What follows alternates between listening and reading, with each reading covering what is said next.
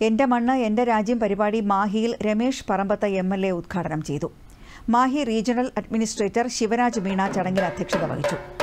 പരിപാടിയുടെ ഭാഗമായി രാജ്യ തലസ്ഥാനത്ത് നിർമ്മിക്കുന്ന അമൃത വാടികയിലേക്കുള്ള മണ്ണ് ജില്ലയിലെ ഗ്രാമങ്ങളിൽ നിന്നും ശേഖരിച്ച് Mahe J N G H S എസിൽ വെച്ച് നടന്ന ബ്ലോക്ക് തല പരിപാടിയിലെത്തിച്ചു തുടർന്ന് എല്ലാ മണ്ണും ഒരുമിച്ച് ചേർത്ത് ഒരു അമൃത കലശത്തിലേക്ക് മാറ്റി. പരിപാടിയുടെ ഭാഗമായി പഞ്ച് പ്രൺചൊല്ലൽ ധീര ജവാന്മാരെ ആദരിക്കൽ എന്നിവയും ഉണ്ടായിരുന്നു. ജെ എൻ ജി എസിൽ നിന്നും മാഹി പള്ളി വഴി അമൃത കലശ യാത്രയും സംഘടിപ്പിച്ചു.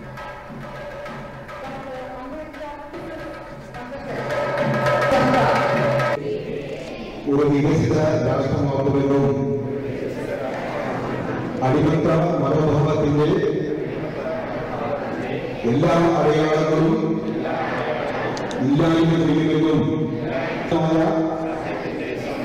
അഖണ്ഡതയ്ക്കും വേണ്ടി പ്രവർത്തിക്കുമെന്നും പൗരന്മാരുടെ കടമകൾ നിറവേറ്റുമെന്നും രാജ്യ സംരക്ഷകരെ ബഹുമാനിക്കുമെന്നും എന്ന സ്വപ്നം